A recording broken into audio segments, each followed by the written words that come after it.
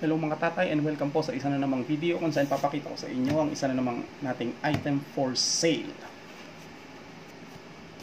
Ito po ang ating uh, Double Bell M4 Series Tarang Tactical Innovation Edition. Okay? So buksan na po natin yung box. So ang laman po ng kahon ay magazine. Meron po siyang markings ng Taran Tactical. Ayan. Ayan. Tapos, meron din siyang, uh, ano ba to? Ah, commemorative card. Kita niya yan? Parang galing sa pelikula ni, okay, The Continental. At meron din siyang commemorative coin, gold coin. Yan, yung mga ginagamit doon sa movie to, na pinagayahan. And, uh, wala po siyang kasamang battery and charger. So, battery and charger sold separately kapag bumili kayo nito. Ito na yung barrel. Ayan. Try tayo konti para makita nyo. Ayan. So, yung sight. Ayan. Balik natin. Tapos, uh, ito yung hop-up action niya. Ayan. Yung release. Ayan. Ito yung release ng hop up. Tapos, ito yung stock retractable. Ayan. Tapos, meron tong marking ulit.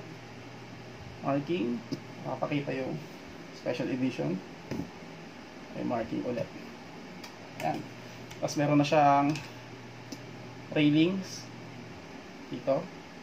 Tapos ulit lang. Sa kabila. Ganun din.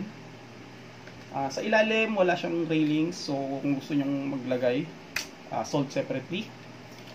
So ayan. This is full metal. Mabigat. Uh, 1 is to 1 replica. Okay. Tingnan natin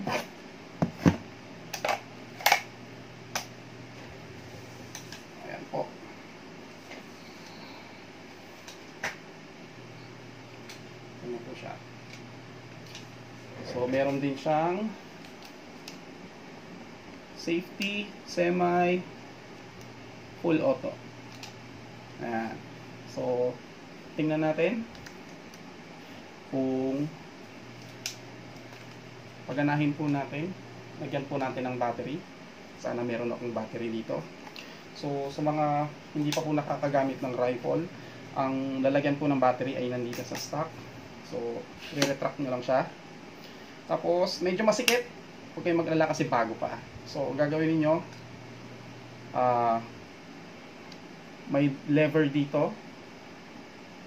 Kilahin nyo pababa. Sagad na sagad. Matatanggal na yan. Okay.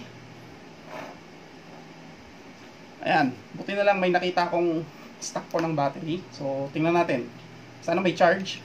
So, pag tinanggal nyo yung pag tinanggal nyo yung stock, may mga kable dyan hit nyo lang yan.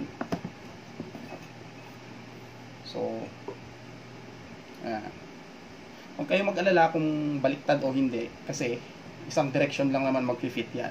So kapag mali yung pagkakasaksak nyo hindi yan papasok all the way. Okay? So pagkatapos lagyan na natin dito. Ayan. Ayan, pag nalagay na po natin yung battery, balik natin yung stock. Ayan ang dati. All the way down. Balik. Ayan. Adjust na lang sa nyo gusto. Okay, try natin. Semi-auto.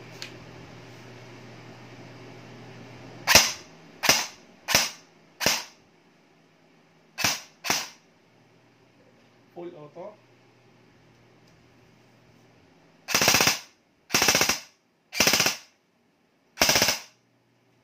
Alright. So, maraming salamat po. This is for sale. PM nyo lang ako para malaman ninyo kung paano umorder. Thank you, mga tatay.